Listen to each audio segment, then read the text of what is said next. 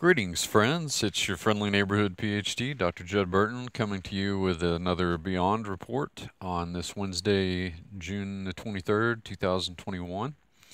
And as always, if you like the content, please click the like, subscribe, and share. Uh, we're trying to build those uh, uh, larger numbers uh, in the subscribing column, so uh, let's try and keep pumping those up. Uh, well, in terms of news today, uh, I wanted to report on an interesting article that I found on um, vampires, and it actually deals with the material evidence for vampires. Uh, it's a paper, uh, an academic paper written uh, by an archaeologist named um, uh, David Barrowclough, and he wrote a, a paper on um, using archaeological and historical evidence uh, to try and, and trace um, material evidence for uh, vampirism. And it's entitled um, Time to Slay Vampire Burials and it, uh, as I say, it deals with the archaeological and historical evidence for vampires in Europe. Um, and you can download this from academia.edu. That's where I found it, uh, which always has a lot of lot of great resources.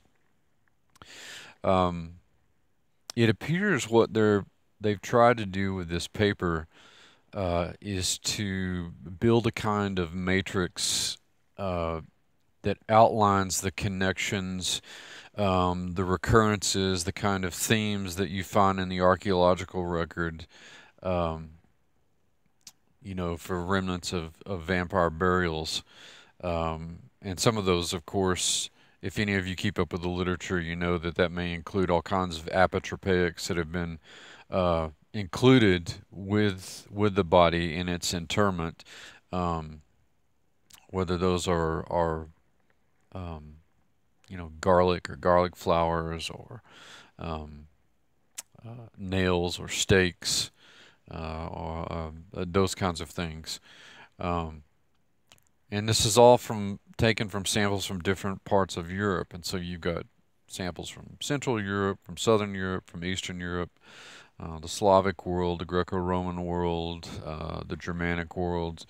Um, and so this is interesting. It, it, it's I, I, think it's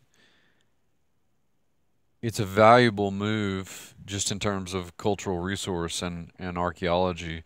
Um, but it's also useful to people who subscribe to a supernatural worldview.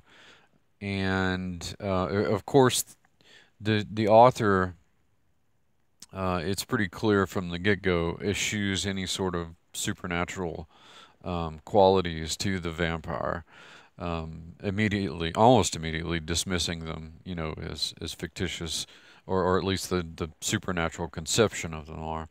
Uh, but nonetheless, I think it is a valuable uh, article, and I'll put a link to um, to that in the description. Now, recently there was an, another uh, interesting archaeological find uh, that relates to the Bible. Um, there was a, a stela, uh, which of course is a, a, a large stone uh, with an inscription on it, um, usually a decree or some account or something like that. Um, but this stela referenced the name of the pharaoh Hophra, And uh, gosh, like so many discoveries, uh, it's not the archaeologists that make the initial discovery, uh, it's usually a, a, you know like a farmer or, or, somebody like that, and that's certainly the case here because the stela was found on a farm uh, in Egypt, and this guy was was tilling his field and and pulled part of this thing up, um, and that's folks, I'm here to tell you that's that's how a lot of of discoveries are, are made and a lot of um, excavations ensue uh, after that sort of thing. Uh, but um, nonetheless, uh, Hophra is is interesting for a number of reasons. Now he was a pharaoh of the 26th dynasty uh, during the New Kingdom and reigned from about 589 um, uh, BC to about 570 BC. So we're talking about a, a very late New Kingdom era pharaoh um, uh, ruling at a, a, a time um, contemporary with the, the Jewish uh, Babylonian captivity. Um, Egypt is on kind of shaky ground at this point. Um, it had suffered all kinds of depredations from outside um, forces really since since the 9th and 8th centuries BC. Uh, notably, their their southern neighbors, the Nubians, who actually ruled over Egypt uh, as dynastic pharaohs.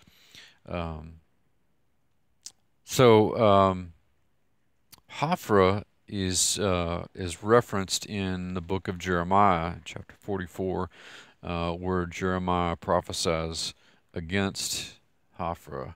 Um, Hophra is the hin- the Hebrew uh, rendering of the name, and Wahebra is the the I believe that's how you pronounce it, is the Egyptian rendering. So, very interesting find linking that that person to the Bible, but it's also further material evidence uh, of not only his existence but his his linkage to the narrative and history of the Bible. So very valuable, interesting find. I'll put a link in the description to that article as well. Well, speaking of the ancient Near East and the ancient world uh, in general, um, I'll be starting a new lecture series on the uh, the ancient Near East and the prehistoric uh, Near East.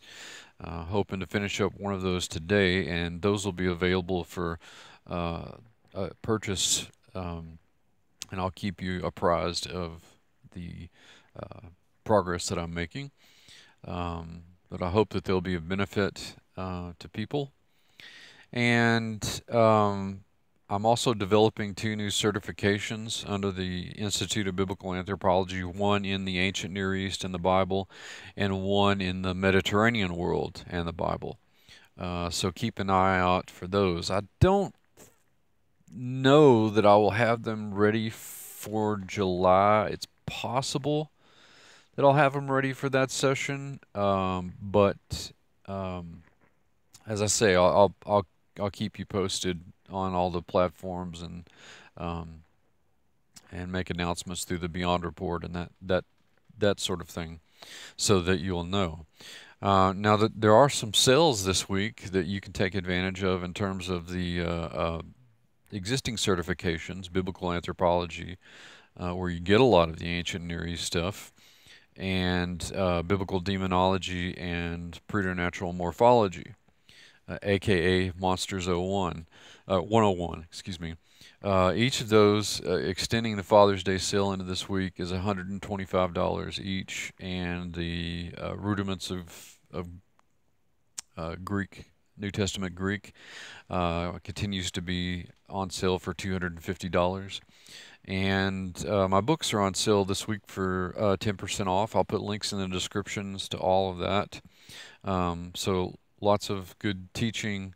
Um, that you can avail yourself of. And I do appreciate uh, any of these purchases uh, because they help to fund what I do through the Institute of Biblical Anthropology, and, and I'm able to do the research that I do and bring many of the results of that uh, to you. So thank you to those of you who believe in my work and, and purchase the materials and books and teachings and courses.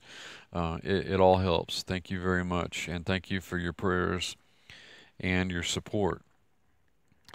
Well, the um, probably the next video production is going to be a, a, a, an episode of Sunday School X, uh, picking up in the Paneas series that I started a number of months ago. Uh, so stay tuned for that as well. Um, I did a straw poll, which is still in progress on Facebook, about doing a, a Burton Beyond or a Beyond podcast um, and getting some good responses for that. So I'm also taking that under consideration. That may be something uh, in the near future uh, that I'll undertake as well. Uh, but it just depends on what sort of response that I have. That's all for today. Uh, thanks for tuning in, and I appreciate all the support and prayers. Um, you guys are, are part of this. This is a um, it's a joint effort, and I appreciate it and, and thank God every day for it. All right, Godspeed, my friends.